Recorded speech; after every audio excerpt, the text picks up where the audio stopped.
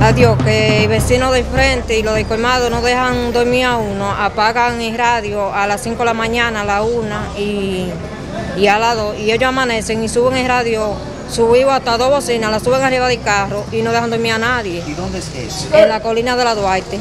¿Qué usted le ha dicho a esa persona? No, yo le he hablado a ellos, yo me he levantado y le he dicho, háganme el favor de bajarme ese radio más, que yo me estoy mal y el marido mío trabaja y ellos no entienden y lo suben más de ahí. A pota no lo hacen, eh. ¿Qué le han dicho? ¿A usted? A mí. Sí, ellos. ¿Qué le han dicho? Que yo no le estoy ayudando a pagar casa a ellos, que ellos hacen lo que quieran ahí.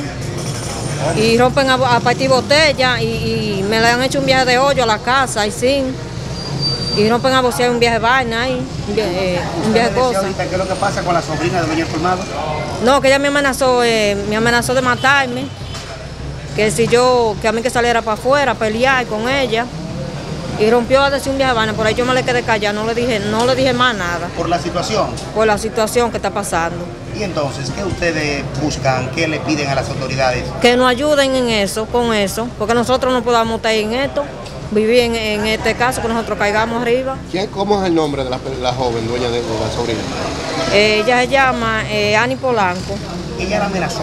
Ella me amenazó, ella misma me amenazó de muerte. Entonces usted teme que ella Y yo temo de que me le pase algo a mis hijos y a mí misma y al, y al marido mío también. Entonces, ¿qué usted responsabiliza de lo que le pasa? A ellos mismos.